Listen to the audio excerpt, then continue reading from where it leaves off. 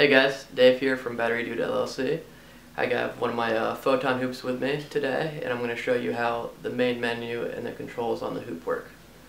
So all the controls are handled by a five-way directional switch on the hoop. It's a little joystick type switch there. You can press it up, down, left, right, and it has a center select. Um, so those five directions there are going to move you through the menu. Up and down will take you through the banks. Left and right will take you through the settings. And select will enter and exit settings. I'm going to go ahead and turn it on. Start up in the main menu. The hoop's always going to look like this when you turn it on. Right now, we're in bank 1 on setting 1. And we know this because the hoop's red and we have one LED here on the right. Those are the two bank indicators. Um, as you move through banks, the hoop will change color and more LEDs will appear here on the right. Um, as you move through settings, left and right, more LEDs on the left here will appear. That lets you know what setting you're on. So I'm going to go ahead, I'm just going to move through the banks a bit by pressing up. As you can see, the hoop changes color. We get some LEDs down here. Right now we're on the fifth bank. Sixth, seventh, eighth, nine, ten.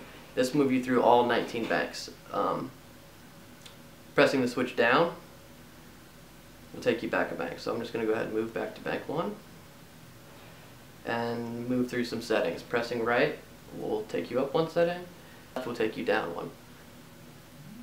So you might have noticed that there's some yellow LEDs here. Those are same as the white ones. We just added a yellow one every five to make um, make it a little easier on the eyes, easier to count. Once you get up to the 16th, 17th setting, it can be hard to keep track of where you are. So those are just a cosmetic thing. Um, go ahead and move back a little. I'm on the 10th setting now, and I'm going to go ahead and enter. So pressing select will play the mode. Um, it'll just keep playing the same mode until you press select again, and that will take you back to the menu. I'm going to go ahead and show you um, our lock switch function. We've heard a lot of people talk about bumping the switch while they're hooping and messing up performances or just being annoying. So to combat that issue, we have something that allows you to lock the joystick. So first you're going to enter a setting. Say you like the setting, you want to keep it playing, you want to make sure you don't accidentally exit. You can lock the toggle switch by holding it down for several seconds. So I'm just going to hold it down. You can see that red bar goes around the hoop. Um, now the switch is locked. You can press select all you want, up, down, left, right. It's not gonna it's not gonna move. The only way to leave the setting at this point will be to unlock the switch, which is done the same way locking it is done by just holding it down for several seconds and that green bar there lets you know that it's unlocked. So now I can leave the mode and back to the menu. So each bank has 15 settings, or sorry, 17, 15 of which are modes. 16 and 17 are your two demo functions, your shuffle settings. So I'm going to go ahead and show you how those work really quickly. Right now I'm on setting 17, that's your time demo moving back one more, setting 16, that's your random demo. The random demo setting plays through all the modes in the bank randomly for a random amount of time.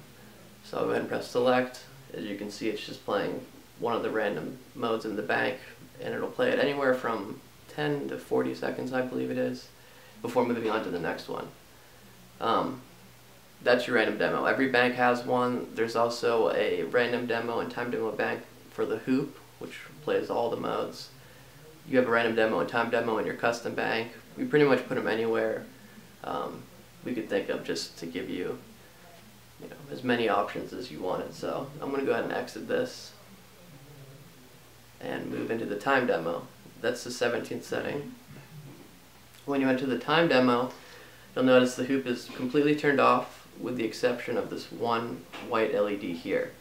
Um, this represents the amount of time each mode is going to be played. The time demo will play through them linearly for an increment of time set by you. So one LED that represents five seconds. Um, you can move the switch to the left and right to add more time. Oh, sorry. Go back there. And you can play the modes anywhere from five to five seconds to two and a half minutes. Each LED representing five seconds. So here um, I got 15 LEDs. That'd be 75 seconds each mode would play. I don't want to do that because I want to show you. I'm going to go ahead and set it to 5. Press select. It's playing the first mode in the bank. And in 5 seconds it should move on to the next. 5 more seconds, the next, etc., etc. Um, aside from that, we also have a pause feature, which will let you pause the mode that's playing. Um, this only works in the demo settings, obviously, but if your hoop is demoing through um, some modes and you see one you like, or you just want to stop it and show somebody, you can pause the setting and keep it from moving on. And this is done by holding the switch up for several seconds. So I'm going to go ahead and hold it up. You can see the red lights kind of blink there, and now the demo is paused. It'll stay on this mode forever, or until you unpause it which can be done by holding the switch up for another couple seconds. And those green lights kind of blink there. It'll now continue on. So that's your demo pause feature. Um, I'm going to go ahead and exit now. And we're going to move on to the custom bank. The custom bank is the very last bank on the hoop, number 19. Um, I'm just going to go ahead and flip back to it so you can see what it looks like. So this is it it looks different than the normal banks just to help distinguish it from regular ones. Right now there's not a whole lot to do here because I haven't saved any modes to it. I just wanted you guys to see what it, uh, what it looked like. I'm going to go ahead and uh, save a few modes to it, see if we can't make it a little more exciting. So the first thing you're going to want to do when saving a mode to it is to enter that mode. So I'm just going to kind of flip through here, pick a mode and enter it. Once you're in the mode, you can save it to the custom bank by holding up on the navigation switch for a couple seconds. And you'll see it kind of blink blue there, meaning the mode's been saved to the bank. So I'm going to add a few more. You can add any setting on the hoop to the custom bank. And the custom bank can hold up to 30 settings. I'm just going to save a couple. If you save more than 30 months to the custom bank, which you can do, it'll just start to overwrite your old ones and save the new ones. Save that one. So now I got three modes in my custom bank. I'm going to add a fourth one, I guess. Didn't mean to enter that.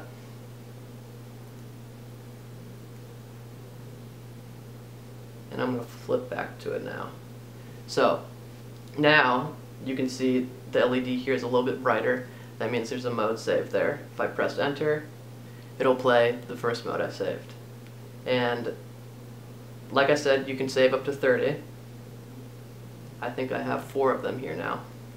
So not only can I access them more easily, but I can use the random demo or time demo feature in the custom bank to play through all of my favorite modes.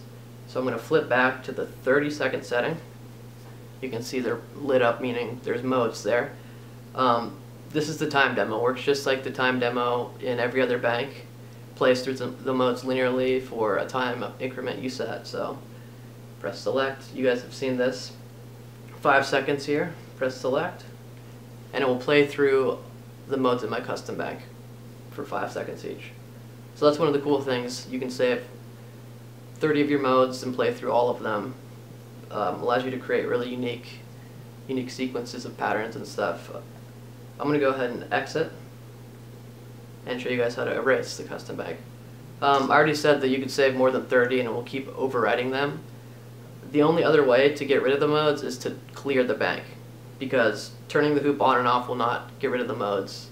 Um, you have to clear it. And to do this, you're just going to want to move into your bank like I am now and you're going to press select on the joystick and hold it. So it takes a good five, six seconds.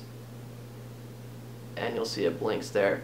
Now all the modes have been cleared. Um, you just press select like you're going to enter a mode, but you do not release it until you see it blink. And now my custom bank is empty, and I can go about saving 30 new modes to it. now I'm going to show you guys the Solid Effects Bank. Solid Effects Bank is the second to last bank, number 18. So right now I'm in my custom bank. I'm just going to flip back a bank. And the hoop will be a rainbow, as you can see. Looks completely different from all the other banks, and that's because it is completely different. Um, before we can do anything, we have to enter the bank by pressing select. And we'll get the hoop here. It'll be red with one LED. It looks kind of like the main menu, bank number one, except there's no bank lights. We just have setting lights. And it works exactly like the menu. To flip through the colors, you just press up. There's 34 colors. To flip back through them, you press down. And there's 15 different settings that each color can be played in. Um, originally, we were just going to have a solid color bank. People kept asking, is there going to be solid colors? Is there going to be solid colors? We said yes. Um, and then after I made the solid color bank, I decided, you know, why not make it a little more exciting? We'll add settings to it. So 34 colors you can pick from, 15 different settings that um, you can play with any color. I like blue, so I'm going to go ahead and show you some of the different settings. First one is solid, like we said we'd have.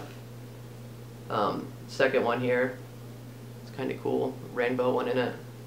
And there's anti-spins, there's some point of view modes, um, you know, chaser type modes. I tried to add the coolest ones I could think of to it, so hopefully you guys enjoy them. One thing I wanted to show is that you can save modes from the color bank to your custom bank, and they will work fine. I'm just going to hold up to save this. Grab some different colors.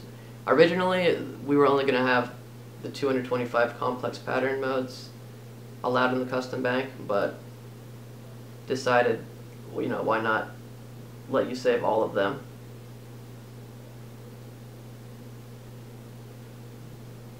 Okay, so now I saved two modes to my custom bank. Um, now, to get to my custom bank, I need to exit the solid color bank. To do this, you're just going to hold the switch down, like you're going to enter a mode, but don't release it and five, six seconds, you'll be back in the menu. As you can see, I'm now back on the bank from the main menu. I'm going to flip up a bank to my custom bank, and you can see my solid color modes are saved there. So, any 34 colors, any 15 settings are okay to save to your custom bank, just like regular modes. Um, select to enter the bank, hold select to exit, and that's pretty much it.